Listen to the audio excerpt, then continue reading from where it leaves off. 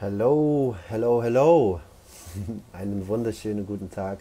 Herzlich willkommen zu einem weiteren Insta Live mal wieder hier auf dem Open Your Spirit Kanal und liebe Grüße. Man sieht es diesmal nicht wie in den letzten Insta Lives in der Kulisse aus Mexiko.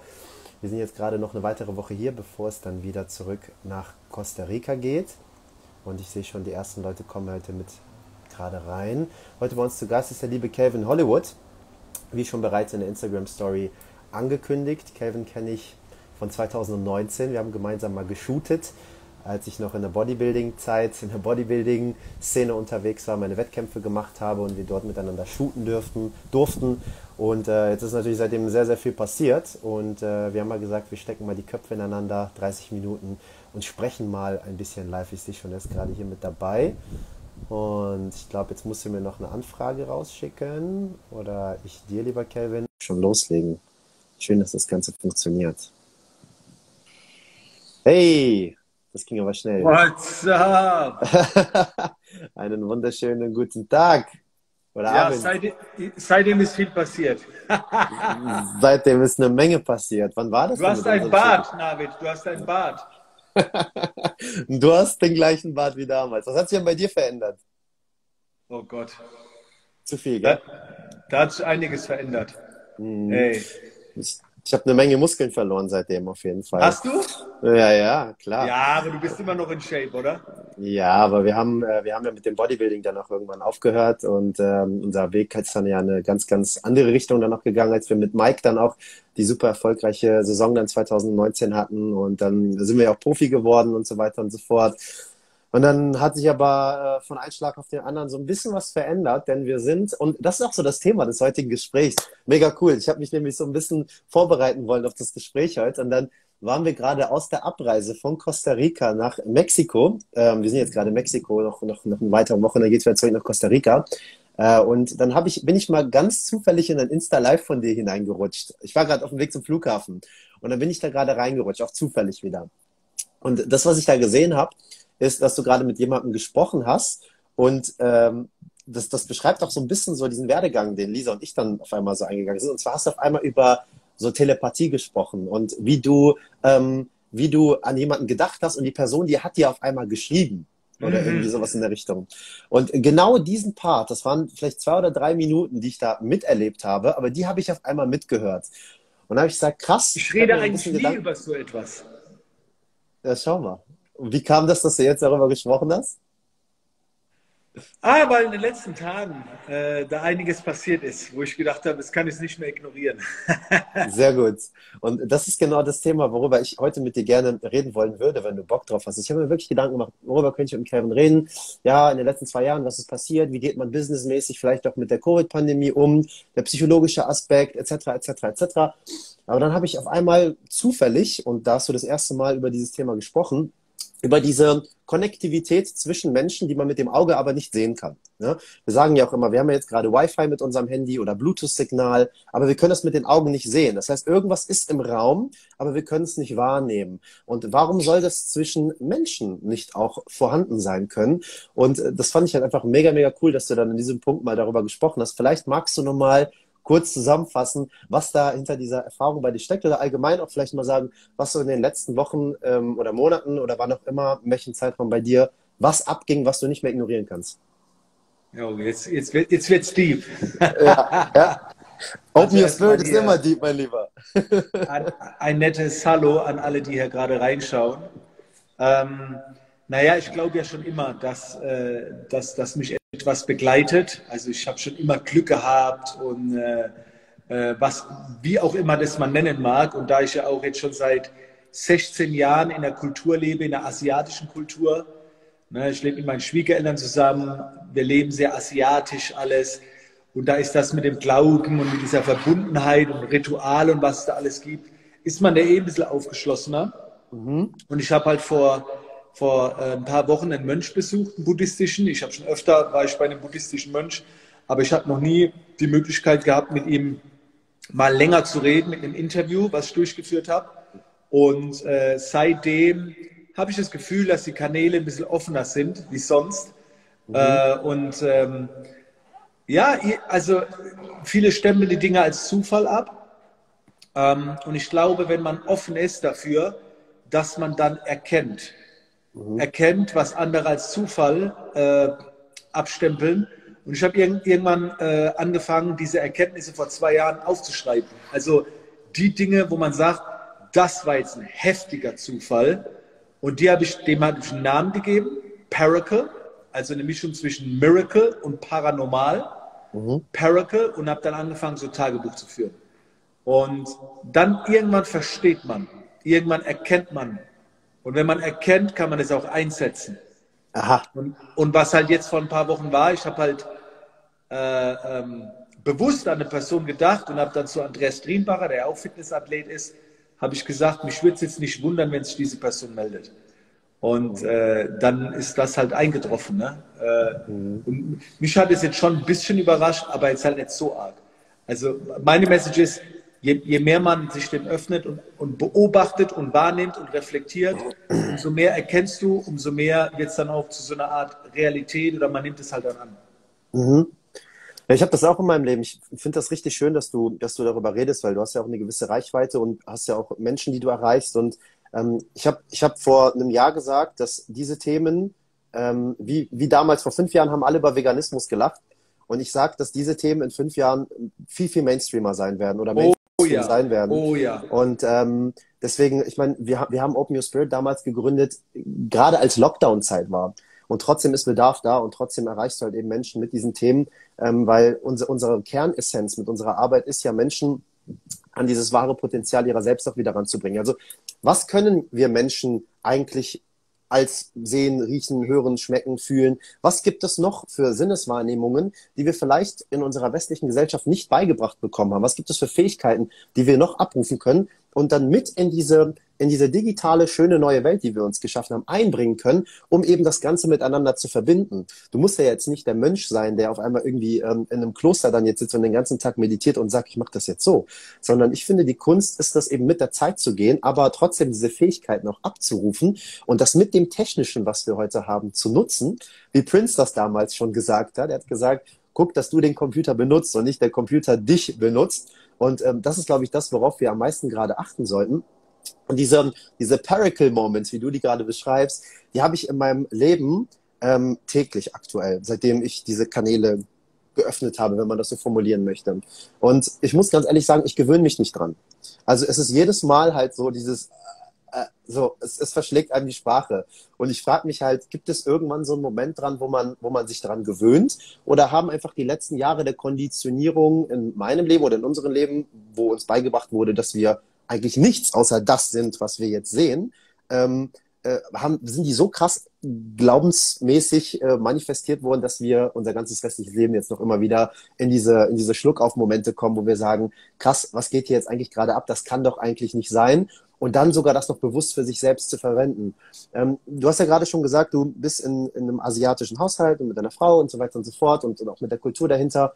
Warst du schon immer mit diesen ganzen Sachen konfrontiert worden, mit diesen übernatürlichen Dingen, die man mit den Augen nicht sehen kann? Oder kam das jetzt erst in der letzten Zeit? Naja, also es, äh, ich habe schon gemerkt, dass ich in meinem Leben immer Glück hatte. Also, äh, und dass schon so krasse Dinge passiert sind. Sehr komische Zufälle, aber das, dem schenkst du ja keine Beachtung. So, ne? Ist halt, ne? Äh, so gewesen. Und erst als ich dann so auch in dieser buddhistischen Kultur war, wo man ja auch dran glaubt und meine meine Family stellt Essen raus für die Geister in Anführungszeichen und so. Und ich denke schon, oha, ne? oder ein Haus wird gereinigt oder ein Mönch kommt bei uns vorbei und äh, das darfst du nicht tun und so. Und da habe ich schon gedacht, so, dann, dann öffnet man sich dem halt, wird ein bisschen aufgeschlossen, aber ich war, ich bin immer noch ein sehr rationaler Typ, also heute noch. Ich brauche für alles irgendwie Beweise. Aber ähm, wie gesagt, wenn man sich dann so mit der Zeit öffnet und mal so ein bisschen reflektiert und, und auch mal offen ist für, für andere lehren, gerade außerhalb der westlichen Welt. Äh, in anderen Ländern ist das normal, weißt du, so, aber in dieser mhm. westlichen Welt ist alles so, ne, äh, darf, äh, das kann nicht sein und, ähm, und wenn man es dann mal öffnet, dann, dann erkennt man es schon. Ich finde es halt immer wichtig, dass man nicht so sehr abdriftet, in, egal in welche Welt. Man kann in die Businesswelt extrem abdriften und süchtig werden, kaputt gehen. Man kann in die Fitnesswelt sich verlieren man kann sich in der Persönlichkeitsentwicklung verlieren, in der Spiritualität. Und ich finde immer, dass man sich halt nirgendwo verliert, zumindest nicht langfristig, gerne phasenweise. Ähm, und äh, jetzt bin ich halt gerade, merke ich halt, ja, also guck mal, du lädst mich ein zu so einem Talk. Ich habe noch nie über solche Themen im Livestream gesprochen, ja. Wieso kommst du jetzt? Wieso bist du jetzt plötzlich da? Dann bin ich jetzt am Wochenende auf einem Event gebucht. Da geht es auch um Spiritualität. Zum ersten Mal seit zwölf Jahren ein Speaking, ne? also ein richtiger Job so, wo ich denke, was ist das denn jetzt? Ne? Wo, wo kommt denn das jetzt plötzlich alles her? Aber mhm. mich wundert es nicht so extrem. Und zu deiner Frage, ob wir uns noch weiterhin wundern werden, ich glaube, wie du schon sagst, ich bin der gleichen Meinung in ein paar Jahren äh, nicht mehr, weil, weil wir es akzeptieren. Und ich habe auch neulich einen Post gemacht und, und war wirklich erschrocken, wie viele das annehmen. Ich habe gedacht, jetzt kommen bestimmt ein paar und sagen, ah, du Spinner, Kelvin. Zumindest auf Facebook niemand. Und ich denke, krass, was denn mhm. los zur Zeit? Sehr viele scheinen offen für sowas zu sein. Ja, und das, das Krasse ist halt einfach, dass die Medien das ja nicht äh, kommunizieren. Die Medien sagen ja genau, genau Gegenteiliges. Die, die Menschen, die sind unbewusst und, und versuchen ja irgendwie einen Spiegel darzustellen, ähm, der, der ja immerhin auch nur einer Halbwahrheit entspricht und man sich halt eben selber dann fragen muss, was möchte ich denn jetzt glauben und was möchte ich leben? Also das, was ich persönlich wahrnehmen kann. Ähm, ich meine, das ist ja genauso wie wenn die sagen, in Mexiko sterben die Leute gerade wie die Ameisen. Ey, hier ist jeden Tag Party in Tulum. Ohne Ende. Äh, keiner fragt dich nach einer Maske, keiner fragt dich, ob du geimpft bist oder nicht. Es interessiert keinen. In Costa Rica dasselbe. In Deutschland ist gerade in den News, sagen sie, in Costa Rica alles dicht, 1G-Regelung wird kommen, etc. etc. Wie willst du eine 1G-Regelung bei einem Restaurant machen, was aus Blech und Holz gebaut ist, an irgendeiner Seitenstraße? Da haben die mit Sicherheit keinen QR-Code-Scanner, wo du mit einer Datenbank verbunden bist und die schauen können, ob du geimpft bist. Also das kriegst du gar nicht umgesetzt. Du hast ja mehr Dschungel als Land, hast du ja als, als gebautes in Costa Rica. Und da einfach mal so ein bisschen nachzudenken. Und das, was ich gerade einfach mitbekomme von, von in meiner Bubble, in der ich stecke, wenn ich das so formulieren möchte, ist, dass eigentlich immer mehr Menschen gerade so sich mit sich selbst verbinden und immer mehr hinterfragen, was eigentlich gerade ist, sich selbst hinterfragen, warum bin ich so, wie ich bin? Warum habe ich diese Gewohnheiten? Warum habe ich diese Glaubensmuster? Warum denke ich so? Warum fühle ich so? Wo kommt das her? Ähm, okay, Erfahrung und Erziehung aus meiner Vergangenheit und vielleicht auch ein bisschen Genetik, was mit einspielt. Aber Erfahrung und Erziehung macht den größten Pass aus. Okay, was hätte damals in der Vergangenheit anders laufen müssen, damit ich heute ein anderer Mensch wäre? Und wie kann ich dann gegebenenfalls nachjustieren mit dem Bewusstsein heute, um gewisse Programmierungen aus der Vergangenheit aufzulösen, um mich weniger zu limitieren oder zu behindern im Leben? Und das ist das, was ich aktuell immer mehr bei Menschen beobachten kann. Dafür bin ich absolut dankbar, und erfüllt von Kopf bis Fuß, wenn ich sowas sehe, dass das Menschen immer bewusster werden und sich immer mehr mit sich selbst auseinandersetzen, auch vielleicht mal eine Meditation probieren und mal schauen, okay, wenn das Mönche machen, über 100 Jahre lang, stundenlang am Tag, wenn ich mal jetzt zu einem Prozent einfach mal glaube, dass da ein bisschen Wahrheit hinterstecken könnte und einfach mal mit Offenheit rangehe, was passiert dann? Mhm. Ja, so, und, und das mit allen Sachen, ob das jetzt Opfergaben sind oder weiß ich nicht, mit Palo Santo oder mit Salbei irgendwie die Wohnung auszuräuchern, etc., etc. Es gibt ja all diese Dinge und ein Teil davon haben wir auch in unser, unser Leben mit integriert, weil sich das energetisch gesehen einfach richtig anfühlt. Und ich finde, das ist zumindest das, was ich einfach gerade beobachten kann. Wie ist es denn aus deiner Perspektive? Auf jeden Fall. Ich denke auch, dass jetzt gerade durch Corona und alles die Leute gesehen haben, wie schnell im Außen etwas wegbrechen kann und wie wichtig es ist, im Innen stabil zu sein und die Antworten auch eher im Innen zu suchen. Ich denke mal, da haben ganz viele äh, äh gesehen, auch worauf es wirklich ankommt. Und äh, da habe ich halt auch die, ähm, die Veränderung gemerkt. Äh, wie gesagt, wie, wie sich viele mit, mit befassen. Und ich glaube auch, dass äh, in der Zukunft das ein oder andere vielleicht besser erklärt werden kann, dass auch die rationalen Typen hier und da überzeugt werden, wenn die Wissenschaft irgendwann mitzieht. Ähm, aber ja, es, es, wird so bleiben, dass äh, das Gehirn viele Dinge nicht verstehen kann. Mhm. Äh, und dann versucht man halt irgendwelche Gründe oder es abzuwehren oder so. Mhm. Aber die Menschen werden offener werden, definitiv. Und äh, kenn, kennst du diesen, diesen Film, Die Prophezeiung von Cell? Ja. Du ja? weißt, was ich meine. Ja, ja. Prophezeiung von die Kommentare ein schönes Buch. Äh, und da, ich habe so den Film gesehen, ne? da gibt es auch Hörbuch und so. Und da wird ja auch so ein bisschen wird ja einer rangeführt in, in, im Sinne von Storytelling und das ist alles sehr, sehr spannend, ja. Mhm. Ja, es ist äh, ultra interessant zu beobachten gerade. Und was, was ich halt auch bei mir halt immer feststelle, und ich denke, so bist du ja auch, umso mehr man sich ja verändert, gerade als selbstständige Person, desto mehr integriert man dann ja auch immer so, oder hat man das Bedürfnis danach, die Dinge, die man selbst erfahren hat und von denen man dann überzeugt ist, in seine Arbeit mit zu integrieren. Also ähm, ich habe ja damals als Trainings- und Ernährungscoach zum Beispiel angefangen und dann kamen auf einmal so geistige Themen. Dann hast du mal einen Podcast von dem Calvin Hollywood gehört oder von dem Tobias Beck und von Gedankentanken und so weiter. Und dann hat sich da auf einmal irgendwie eine neue Tür geöffnet und dann ging es auf einmal noch eine, Ebene weiter und dann sind wir halt auch sehr krass mal ins Spirituelle tief rein, wo wir auch heute noch sind ähm, und auch zum Beispiel mit Pflanzenmedizin arbeiten und so weiter und so fort, um eben bewusstseinserweiternde Zustände auch ähm, zu erzeugen. Und ähm, dann habe ich halt eben gemerkt, dass umso mehr ich mich verändere, desto mehr ist auch das Bedürfnis da, diese Veränderungen in meine Arbeit mit zu integrieren, weil das ist ja die authentischste Form der Selbstexpression. Wenn ich das, was, wovon ich wirklich felsenfest überzeugt bin, und nicht nur des Geldes wegen bei dem einen Schema bleibe, wo ich die ganze Zeit geblieben bin, sondern dann einfach alles auch auf Kopf stelle und sage, nö, das ist jetzt meine Realität und das möchte ich jetzt an den Mann bringen und wer Bock hat, kann kommen und wenn nicht, halt eben nicht. Wie beobachtest du das bei dir und kannst du dir vorstellen, dass dein äh, beruflicher Werdegang vielleicht auch sogar in den nächsten Jahren in diese Richtung gehen kann, wenn wir sagen, das wird Mainstream in fünf Jahren? Ja, da sprichst du was an. Da bin ich jetzt gerade in der also ich bin jetzt in der Woche in Dubai äh, mit meinem Inner Circle und werde im Anschluss so ein paar Tage dranhängen, wo ich immer sehr gerne mal wie, wie so eine neue Findungsphase.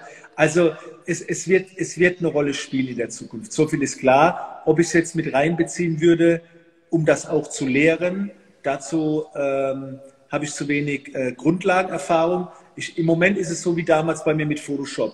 Äh, ich habe mit Photoshop unheimlich viel praktisch gemacht und es, ich konnte Dinge machen, das war der Wahnsinn so. Und dann kamen andere und sagen, oh, lass mich daran teilhaben. Und ich sage, pass auf, du hast auch immer eine Verantwortung, wenn du etwas weitergibst. Und jetzt bin ich gerade dabei, mich so mit Grundlagen und alles zu befassen. Und äh, ich rede schon drüber, aber ganz, ganz selten im Moment, weil, weil ich das selber erst noch tief reingehen will.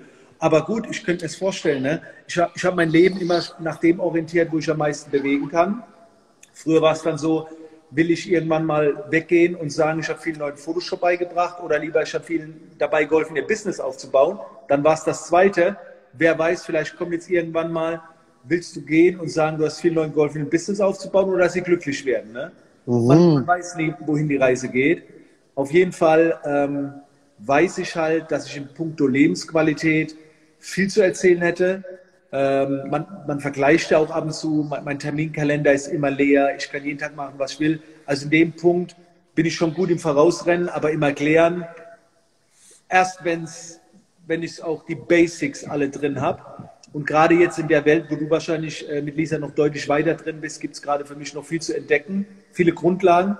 Ich, ich habe jetzt die letzten drei Tage drei Bücher gelesen, davor schon zehn Bücher verschlungen in allen Bereichen. Ob das jetzt Chakren sind, ob das Geistführer sind, ob das Auren sind, ob das Heilung ist. Äh, ich gehe im Moment überall rein und es gibt viel zu entdecken und es ist geil, Schüler zu sein und oh. zu erfahren und wer weiß, wohin die Reise geht. Ne? Ja. Das was, ich, das, was ich halt auch bei vielen und auch bei mir beobachten konnte, als es so um das Thema ähm, Spiritualität ging. Erstmal finde ich es mega cool, dass du so offen bist und dass du sagst. Ähm, ja, aber das ist schon, das fühlt sich für mich sehr komisch gerade an, ne? Was? Ja, das so, ich meine, hier sind ja auch einige jetzt äh, von mir da drin und so. Und die meisten sagen immer geil, dass du das Thema ansprichst, aber ich muss sagen, es geht mir noch nicht so einfach von den Lippen darüber zu quatschen.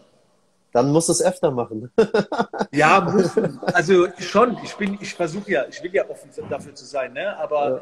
es ist ja am Anfang so, ja, mal gucken und, und ein bisschen vorsichtig mhm. noch und so weiter.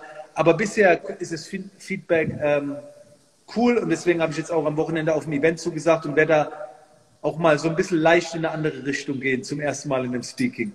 Ich finde das, find das richtig schön, dass du das machst und ich bin mega, mega dankbar, dass du das tust. Wie gesagt, ich bin randomly in 30 Sekunden deines Insta-Lives reingerutscht und habe nur diesen einen Satz gehört. Krass. Und, äh, und, und, und dadurch ist dieses, dieses Gespräch jetzt hier heute überhaupt entstanden. Und das ist halt so dieses, dieser Flow des Lebens, wenn man sich so hingibt und wenn man sich einfach so treiben lässt und, und die Dinge auch bewusst wahrnimmt, weil vieles passiert ja auch eigentlich und wir nehmen das gar nicht bewusst wahr. Viele Zeichen, die jeden Tag stattfinden, die für jeden eigentlich präsent sind. Du musst nicht ähm, 20 Bücher gelesen haben und 1000 Podcasts gehört haben. Das ist so dieses Brain Masturbation, damit du irgendwann diese Dinge wahrnehmen kannst, sondern das kann jeder in jedem Zeitpunkt in seinem Leben, weil er einfach Mensch ist. So. Und das hat nichts irgendwie damit zu tun, dass man irgendwie ähm, noch mehr lesen muss, weil wir können noch so viel über Chakren und so weiter und so fort lesen. Ähm, ich bin selber Maschinenbauingenieur, also ich bin auch sehr auf Zahlen, Daten und Fakten fokussiert. wenn, wenn ich etwas nicht erfahren habe oder keinen expliziten Beweis habe, dann glaube ich dir gar nichts, so auf gut Deutsch gesagt, ganz, ganz streng. Ja, ich weiß, was du meinst. Ähm, und ich brauche halt diese eigene Erfahrung. Und deswegen habe ich gesagt. Aber okay, warte, darf ich ganz kurz zwischen rein, David, weil du hast gerade was Wertvolles gesagt. Ich würde es ganz kurz nochmal wiederholen gerne, weil es hat mir heute Morgen auch jemand gesagt, der, der Mann von der Anita, der ist auch so e- Energetiker, und der hat was gesagt, das hast du eben gerade schön gesagt, äh, die Erfahrung bestätigt, nicht das angeeignete Wissen. Mhm. Und du hast gerade gesagt, du musst, wenn du selbst die Erfahrung machst, man muss selbst die Erfahrung machen, das ist eigentlich der beste Beweis weiterzumachen und nicht, was du in Büchern liest. Das ist die Ergänzung. Aber was du gerade gesagt hast, halt schön so, man muss eine Erfahrung machen, du willst die Erfahrung machen und dann kriegst du die Erfahrung und dann wirst du bestätigt und dann kannst du weitermachen. Dann geht es weiter in die nächsten Schritte.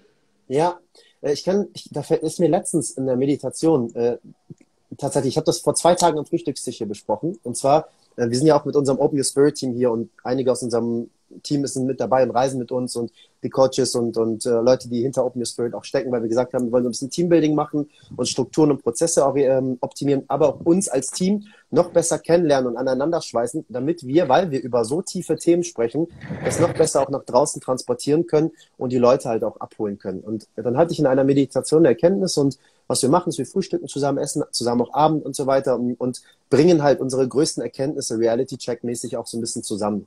Und das, was ich so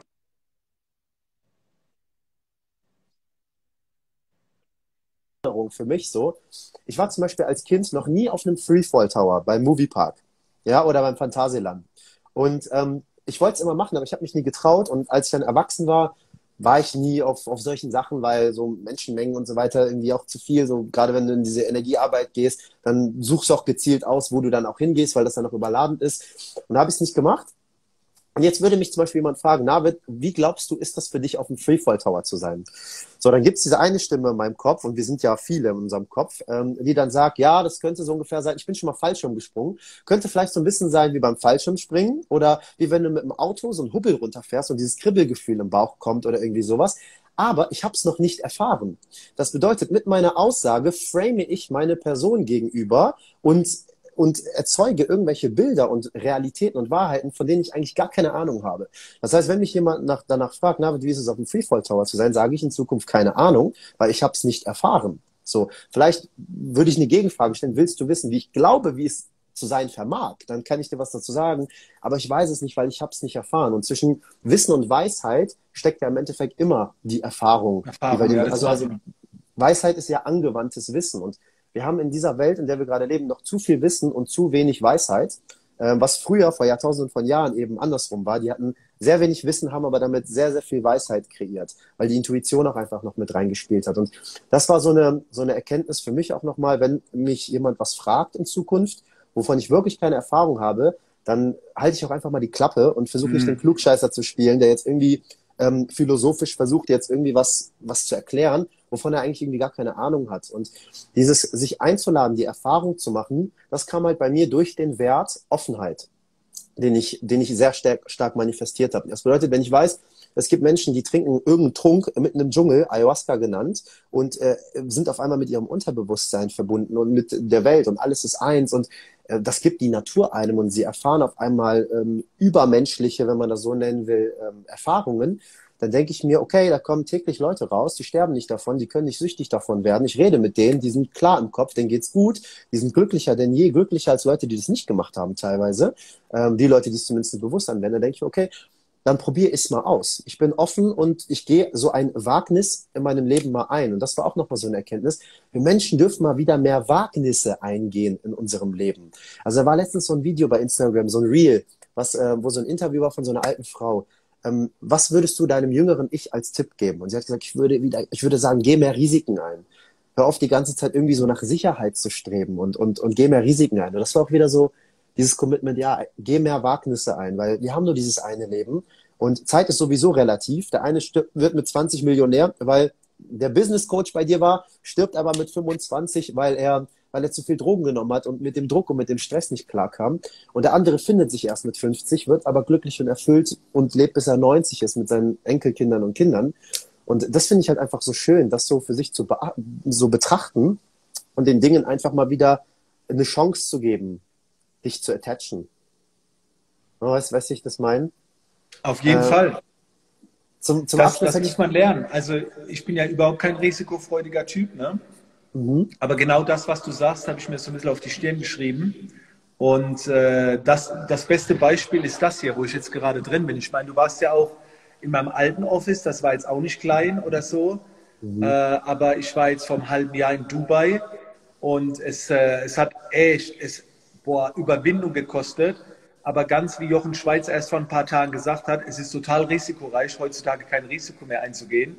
Und ich habe dann während Corona habe ich mir dann hier diese Räumlichkeiten. Übrigens, auch wenn du jetzt nicht mehr im Bodybuilding bist, aber da, hier habe ich sogar mein eigenes Gym. Ne? Geil. so mit, mit dem ganzen Workout-Bereich hier hinten und so weiter. Mhm. Aber das, das, war, das war ein Risiko. Ne? In, in einer Zeit mit Quarantäne, mit Maske, einen Ort zu schaffen, der offline basiert ist und daran zu glauben, dass die Leute später wieder hierher finden. Ne? Mhm. Aber das gehört dazu, ja. Man muss ja nicht übertreiben im Risiko. Es ist, man kann ja ein Grundrisiko eingehen, aber das muss so kribbeln. Ne? Das muss so kribbeln, da muss dann ja. in dir drin so Leben drin stecken. Du musst so einen Respekt davor haben, aber nicht übermütig werden. Und da ist dann der Wachstum, ja. Absolut, dieses, dieses Kribbeln im Bauch. Da habe ich auch heute noch mit einem Kunden von mir darüber gesprochen. Und zwar, das war auch noch eine tolle, tolle Erkenntnis. Ähm, das habe ich auch irgendwo mal gelesen und das hat so, so krass mit mir resoniert.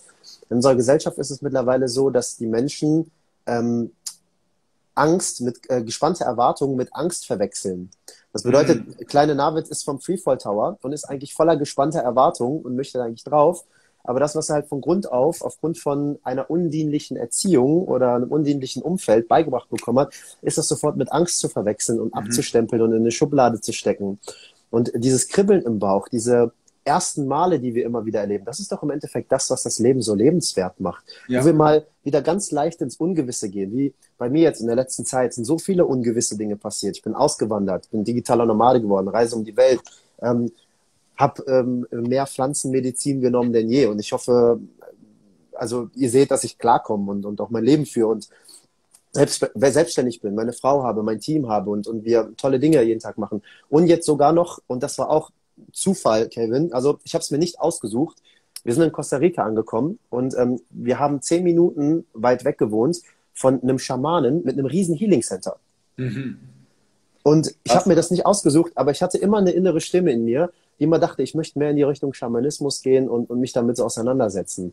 Und das, ich habe ein Airbnb gebucht mitten im Dschungel Costa Ricas, unser erster Stop nach Mexiko dann. Und äh, ich, das war mitten im Dschungel, das sind nur Bäume, nichts anderes. Und auf einmal zehn Minuten zu Fuß ist ein Schamane mit einem riesen Healing Center. Ja, dann haben mich ein, zwei, drei Leute irgendwie dann in der Umgebung immer wieder angesprochen, ja, warst du eigentlich schon beim Pfizer? Warst du eigentlich schon beim Pfizer? Ja, nee, war ich nicht. Ich kenne nur Rhythmia hier. Das ist äh, so ein riesen äh, Ayahuasca Healing Center, wo ganz viele Stars, auch Mike Tyson und so weiter hingehen, was übelst krass halt in den Medien auch gepusht wird. Von äh, dem Gary ähm, wurde das Ganze gebaut, so ein Milliardär, der damals irgendwie in Drogen sich verloren hat und dann Ayahuasca getrunken hat und dann gesagt hat, okay, krass, ich muss das jetzt in Costa Rica hier bauen. Und ich kannte nur Rhythmia, auch vom, vom Misha Jan jetzt, mit dem hast du ja auch schon mal ein paar Mal mhm. gesprochen. Mhm. Und äh, der war da auch und hat fünf Tage Ayahuasca gemacht. Und ich kannte nur Rhythmia und das war vier Kilometer von uns entfernt. Und auf einmal sind wir mit dem Schaman in Kontakt gekommen. Und ähm, wie es scheint, bin ich irgendwie eine 15 Jahre jüngere Version von ihm oder 20 Jahre jüngere Version von ihm. Wir haben dieselben Ängste, dieselben Gelüste, dieselben Dinge, die wir, die wir lieben. Also alles ist gleich, mega spooky so dass er dann irgendwann gesagt hat, okay, ich möchte, dass du bei mir ähm, eine Zeremonie buchst, weil ich habe gesagt, ich suche einen Mentor. Und das, was ich in Deutschland einfach sehe, das, das befriedigt mich nicht. Das, das befriedigt meine Seele nicht. Nicht das, was ich gerade irgendwie brauche. Und dann hat er gesagt, okay, bevor wir aber über Mentor sein und so weiter reden, möchte ich, dass du bei mir eine Zeremonie buchst und ich dich erstmal auf ehrlichstem Wege, authentischstem Wege kennenlerne. Und du lernst jemanden auf authentischstem Wege kennen, wenn er bei dir eine Zeremonie bucht und das Ego mal für ein paar Stunden de deaktiviert ist und du dann eben diese Pflanzenmedizin trinkst. Und äh, gesagt, getan. Ich habe das bei ihm gemacht, hatte zwei Zeremonien bei ihm. Und ähm, das hat danach so resoniert, dass er gesagt hat, okay, Navid, ich möchte nur dein Commitment haben, dass du hier in der Nähe bleibst und ich bringe dir alles bei, was ich weiß. Ohne, dass du mir was zahlen musst, sondern du bist einfach nur da, kommst, beobachtest und stellst an den richtigen Situationen die richtigen Fragen. Und dann war halt eben bei mir die Stelle, äh, die, die Frage, möchte ich das machen, neben Open Your Spirit, jeden Morgen 6 Uhr aufstehen, Morgenroutine, dann meine Arbeit nachgehen, Mentoring, Calls, etc., etc., etc und dann um 15 Uhr ähm, dann rüber zu gehen ins Healing Center und dann da eben mit der schamanischen, psychologischen Arbeit weiterzumachen, bin ich gerade bereit dafür, mich auch hier an Costa Rica zu committen. Und äh, da bin ich für mich reingegangen, war ein Jahr und so wie die Zufälle sich das dann eben wieder gefügt haben, ging es dann eben da jetzt so vorwärts. Und jetzt ähm, sind wir hier in Mexiko, weil er in Kanada seine Familie besucht. Und im November, ab dem 9. November geht's halt eben dann da wieder weiter. Und so fügt sich so das Leben. Und ich finde es einfach unfassbar spannend und bin dankbar, dass man, wenn man endlich mal aufhört, sich die ganze Zeit festhalten zu wollen und wenn man sich mal fließen und treiben lässt, so wie du das genannt hast, ich ziehe irgendwie mein Leben lang Glück an. Ja, vielleicht hat das einfach was damit zu tun, dass du mit, mit mehr Leichtigkeit durchs Leben gehst. Und Glück ist ja nichts anderes, als wenn Vorbereitung auf Gelegenheit trifft. Also vielleicht hast du dich auch einfach immer intuitiv gut vorbereitet auf alles. Mit Sicherheit, mit Sicherheit. Das richtige Umfeld, die richtigen Bücher gelesen. ja. Mama, es hat mich mega gefreut, heute mit dir ähm, jetzt so, so, ein halbes Stündchen mal so darüber zu sprechen und vielleicht auch deiner und unserer Community mal so ein paar Insights auch aus dieser Welt mal zu geben und mal zu schauen, wie das Ganze ankommt. Die Leute können dich ja mal ein bisschen äh, per Direct Message bombardieren und dir mal Feedback da lassen, wie die, äh, wie die diese, diese, diese Version von Kevin mögen, diesen, diesen Anteil in dir, den du da noch auslebst. Wie gesagt, wir sind ja viele in uns drin. Ich habe auch noch den Bodybuilder-Navid in mir, ich habe auch noch den Party-Navid in mir, ich habe auch noch den, keine Ahnung, Schwiegersohn-Navid in mir und den spirituellen Navid in mir und alles sollte einfach in Balance ausgelebt werden, damit wir gesund sind. Und äh, ja, ich würde würd mich da sehr freuen, wenn wir da vielleicht in Zukunft auch nochmal das eine oder andere Mal zueinander finden können und solche offenen, ehrlichen und authentischen Gespräche führen können. Ganz ja. bestimmt. Äh, nächstes Mal äh, habe ich dann einen kräftigeren Bart oder du keinen mehr. Äh, ich, bin sehr, ich bin sehr gespannt, äh, wie, wie die Reise weitergeht. Der bleibt jetzt erstmal noch für die nächste Zeit. Aber mal schauen. Sieht auch super aus. Dankeschön. Dankeschön von Herzen. Du siehst auch super aus. Ich wünsche dir einen wunderschönen Abend. Dankeschön für deine Zeit. Es hat mich mega gefreut, mit dir zu sprechen. War mir eine Gruß Ehre. An Lisa. Und mach ich, mach ich. Und äh, dir noch ähm, einen schönen Abend, schöne Zeit und bis bald.